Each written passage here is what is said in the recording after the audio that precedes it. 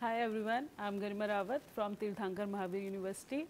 I am here in BIMTech to attend the FDP on business simulation. It, it is really a good experience to be here in such a good institution. Thanks BIMTech.